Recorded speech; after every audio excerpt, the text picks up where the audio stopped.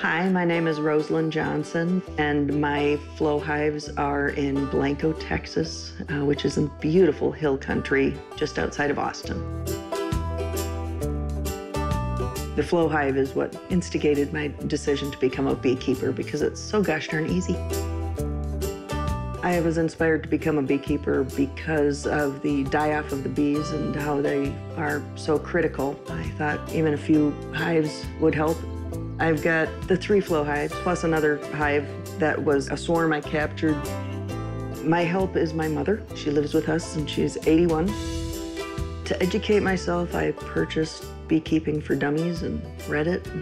And I've done a lot of uh, research on the internet. Uh, there's a lot of beekeepers out there that post really helpful information. And oh, I did take a one afternoon beekeeping introduction. I highly recommend that because you realize that you can hold a frame of bees and they're all around it and you're looking at it, flipping it over, and they don't care. They're not, you know, swarming you or being aggressive and really good to have that before diving in. Oh yeah, here it comes. Haha.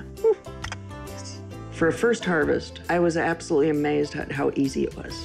The hardest thing was not to keep trying to eat some. Because it's very good. All right, Mom, you gotta try this. Right.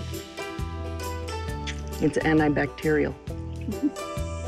First harvest ever. Thank you very much.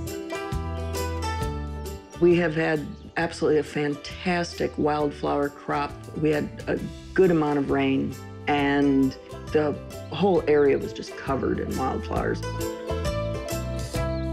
I highly recommend practicing keeping the smoker going before you get your bees because I had the smoker going and I hived my first batch of bees and then as I was hiving the other ones, the smoker went out and I pissed off 20,000 bees and um, uh, it still worked, but it was, it was uh, it, an interesting introduction to beekeeping.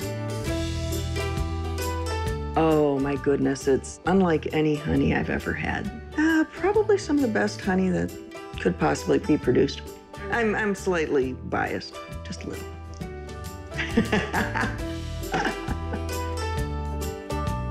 How cool was that? We've got lots of sweet stories coming up each week, so if you want to be up to date, hit the subscribe button below.